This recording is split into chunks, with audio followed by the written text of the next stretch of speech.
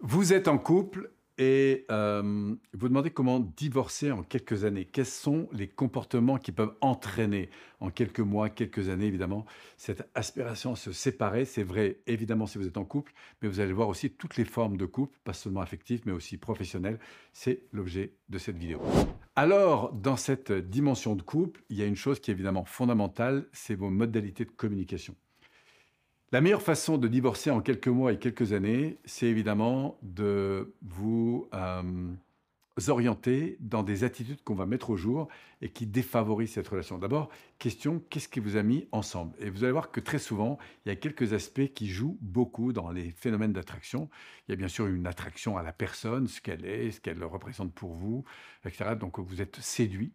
Ensuite, il y a une deuxième dimension qui probablement va être importante, c'est l'affection que vous allez euh, pouvoir euh, ressentir à l'égard de cette personne et que vous allez éventuellement partager. Et puis enfin, probablement aussi l'admiration que vous avez pour sa différence, pour sa sensibilité euh, l'un envers l'autre. Et ça, probablement, c'est trois piliers qui vont jouer beaucoup sur la qualité de vos, euh, vos connexions. Donc, c'est pas jamais pour rien qu'on est ensemble. Hein. C'est parce qu'on va partager des valeurs, éventuellement euh, un projet, puis probablement des, des règles de vie qui vont en tout cas s'ajouter de plus en plus avec cette capacité de communication. Pourquoi cette communication est si importante? Parce que d'abord, il n'y a pas d'évolution sans communication. Communiquer en couple, c'est vraiment le lieu d'intimité probablement le plus fort que vous puissiez euh, connaître. Euh, bien sûr, euh, quand ça va mal, ben, qu'est-ce qui se passe quand ça va mal? La première chose que vous ressentez quand ça va mal, c'est des frustrations. Pourquoi? Parce qu'il y a des situations qui se présentent et qui ne sont pas celles que vous attendez. Et évidemment, vivre en couple, c'est accepter de vivre des contraintes qu'on n'a pas tout seul. Et du coup, vivre en couple, c'est un challenge. Et l'idée, c'est de remporter ce challenge ensemble. Et donc, c'est justement parce que vous sentez que ça va le jouer que vous décidez par des valeurs communes, par une projection plus ou moins dessinée avec votre partenaire, bah, de vous mettre ensemble. Et puis, bah, si ça joue, bah, de continuer à, organiser votre vie, parce qu'au début, ça va être très séduisant, hein, évidemment, donc euh, il n'y aura pas de problème. Après, vous allez avoir une phase où vous allez vous ajuster. Donc, c'est là que ça va jouer ou pas. Est-ce que vous allez rester ensemble ou vous séparer? Et si vous arrivez à ajuster les morceaux, vous allez du coup euh, passer à une autre dimension de la relation qui même s'il y a encore de la séduction, il y, a, des choses plus profondes qui vont nourrir votre relation et qui probablement vont faire que ça dure. Alors après, quelle que soit évidemment la, dynamique positive que vous avez eue évidemment au départ, ce qui va se jouer, c'est face aux situations de crise. Un jour, je suis euh, au bord du lac d'Annecy avec un ami, et puis je vois deux vieilles personnes, enfin très âgées en tout cas, et je suis, elles sont là, euh, elles marchent ensemble doucement comme ça.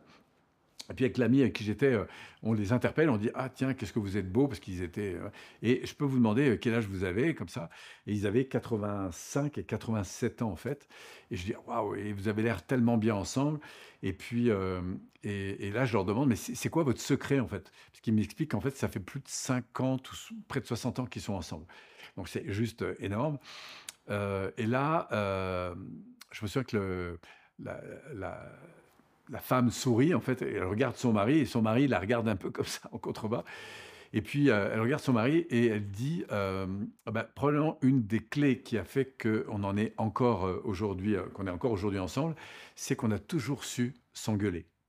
Et j'ai trouvé ça intéressant, c'est-à-dire qu'on a toujours su en sous-titre, au fond, se dire quand ça allait pas, et à partir de là, de, de réguler. Je pense que ça, c'est une clé qui est très très importante dans toutes les situations d'interaction qu'on peut avoir avec ses proches, et encore plus évidemment avec ses très proches, ou ça très proche, ou son très proche, c'est-à-dire dans une relation de couple, où la notion d'intimité, de prise en compte de l'autre dans toute la dimension neuro-émotionnelle va faire une énorme différence. Alors tant que cette dimension est valorisée, prise en compte et honorée, ben, il n'y a pas de raison évidemment que ça se sépare, puisque l'un et l'autre sont au service en quelque sorte du bonheur de l'autre, il y a une attention qui est, qui est portée.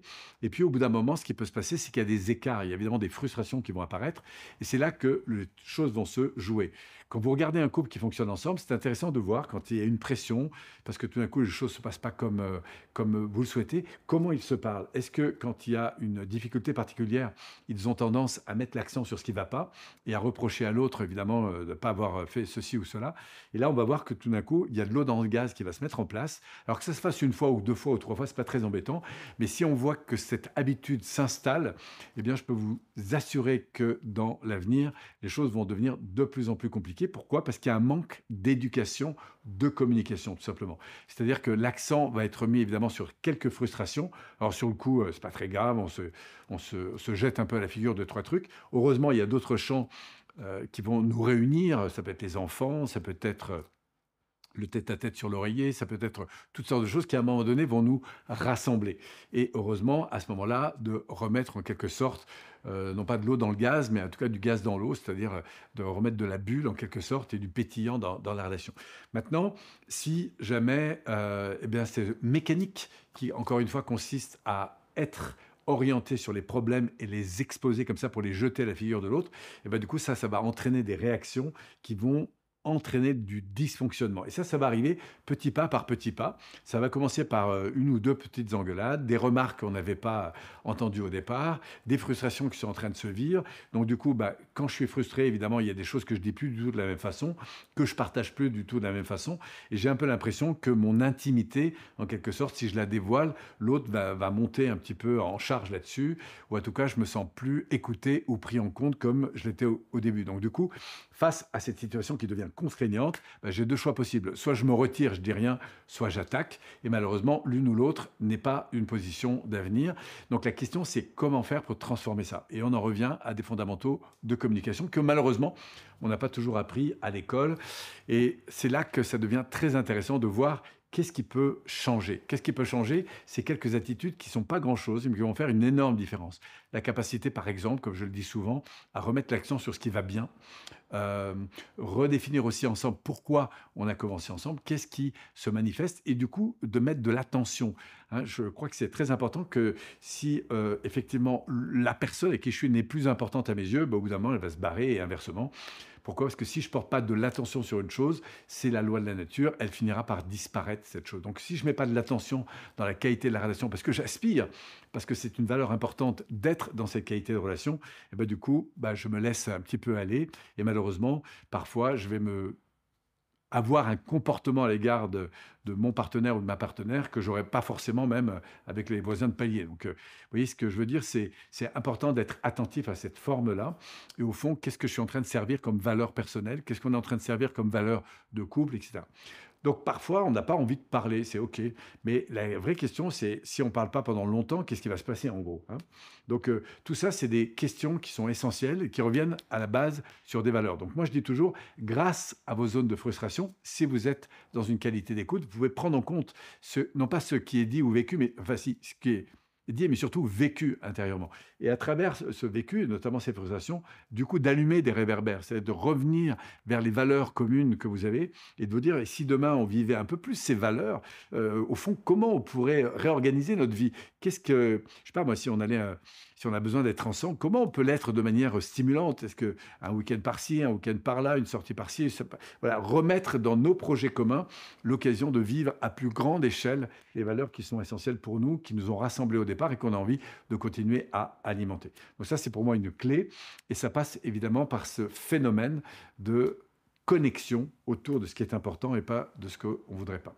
Donc ça, c'est des, des modalités de base que vous pouvez acquérir qui vont faire une énorme différence. Mais sachez une chose, c'est que si vous voulez inverser le processus, bien, c'est en mettant du raffinement et de la qualité dans vos relations, notamment avec votre partenaire, que les choses vont éventuellement évoluer. Et puis, des écarts, il y en aura toujours. Pourquoi? Bah, Parce qu'il y a des moments, et ça ne veut pas dire que votre partenaire n'est pas important, mais il y a des moments où vous gérez des situations pour vous qui sont importantes, votre travail, je ne sais pas quoi. Et du coup, le partenaire peut ne pas se sentir évidemment pris en compte à ce moment-là. Et entre la perception qu'il a d'une situation et l'interprétation dans laquelle il rentre, il peut y avoir un écart très important. Donc surtout, deuxième grosse clé, faites la différence entre ce que vous percevez et l'interprétation que vous pouvez donner. Et c'est pas parce que votre mari ou votre conjoint vous a pas appelé alors qu'il avait promis de le faire que bah, vous n'êtes pas importante à ses yeux ou pas important à ses yeux. Ça veut dire simplement, tiens, j'observe qu'il y a eu telle chose, qu'est-ce qui s'est passé? Et puis de revenir sur mes importants. Plutôt que critiquer l'autre, encore une fois, pour le fait de ne pas vous, avoir appelé, bah, dites-lui à quel point c'est important justement, même s'il ne peut pas toujours le faire, mais qu'il sache que c'est important d'avoir un appel de votre part, parce que c'est pas du tout la même chose que d'entendre que pour vous c'est important que je vous appelle, plutôt que me sentir critiqué parce que je ne les ai pas appelés à l'heure à ce moment-là, avec tout ce qui derrière pourrait être interprété de négatif et qui au fond n'a rien à voir avec euh, ce que je suis en train de vivre. Donc, euh, vous voyez, ça c'est très intéressant d'être un peu attentif à ces éléments. Voilà, donc en synthèse, revenir sur vos importants, apprendre à partager sur vos importants, construire des visions ou des projets ou des objectifs dont vous sentez que ces importants vont être pris en compte, parce que sinon, bah, ça va vous éteindre. Alors, vous aimerez la relation, mais si vous n'êtes pas porté par un projet commun, au bout d'un moment, ça va, ça va pas le faire. Et puis ensuite, dans cette avancée, peu à peu, ça va pas se faire du jour au lendemain, mais il va y avoir des règles du jeu à mettre en place et à partager ensemble, parce que vous avez des fonctionnements différents, et de voir comment l'un et l'autre peuvent s'inspirer mais surtout mettre des règles du jeu. Et quand ces règles sont pas manifestement respectées, c'est là que la communication va faire une énorme différence. Donc réorienter votre relation sur, tiens, qu'est-ce qui se passe? Qu'est-ce qui est important pour toi Où est-ce qu'on va ensemble par rapport à ça Et puis du coup, qu'est-ce qu'on décide de reconstruire comme règle si toutefois euh, le projet commun est vraiment euh, nourrissant pour l'un et pour l'autre. Voilà, donc ça, c'est quelques règles de base qui peuvent euh, peut-être transformer, en tout cas je l'espère, votre relation si vous sentez que ça bat un peu de l'aile. Maintenant, c'est aussi important de savoir que ben, parfois il peut y avoir de bonnes séparations. Se séparer, ça ne veut pas dire que c'est négatif, ça veut dire que vous êtes dans une zone de, on va dire, de, d'automne et d'hiver et qu'il y a des choses à laisser mourir pour laisser renaître un nouveau printemps. Mais avant de croire que l'herbe est plus verte ailleurs, c'est toujours intéressant de se dire, tiens, qu'est-ce que je peux commencer par changer avec la relation dans laquelle je suis? Parce que euh, parfois changer de personne, c'est bien, mais si c'est pour reproduire ce que vous avez déjà produit avant, ça ne va pas le faire euh, forcément. Bref, en tout cas, il n'y a pas de bonne réponse. La seule qui vienne, c'est la vôtre. Mais il y a des processus quand même pour euh, éclairer et revenir sur ces éléments fondamentaux qui vous animent. Et c'est évidemment tout le sens que je vous souhaite. Retrouver du sens en termes d'aspiration, retrouver du sens en termes de direction, et puis construire ensemble ensuite les modalités qui vous stimulent véritablement. Prenez du kiff, une vie à deux, c'est fait pour ça. Donc euh, vérifiez que c'est bien ça que c'est en train de nourrir dans votre vie. Merci encore. Laissez-moi un petit commentaire si vous avez envie d'interagir autour de ces propos. Vos impressions m'intéressent toujours et puis on a le droit de pas être d'accord. Hein. C'est toujours intéressant d'avoir des points de vue euh, différents. Et puis au-delà de ça, si vous avez envie d'avancer sur ces sensibilités, n'hésitez pas à venir nous rencontrer. C'est notre job depuis pas mal d'années.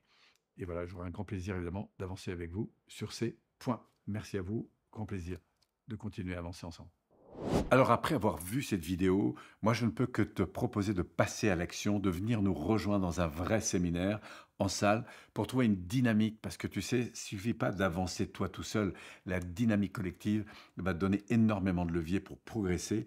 Donc viens, clique sur le lien sous cette vidéo, viens nous rejoindre, fais le pas parce que je te garantis que ça va te permettre de bouger et dans le bon sens. Au grand plaisir de t'y retrouver.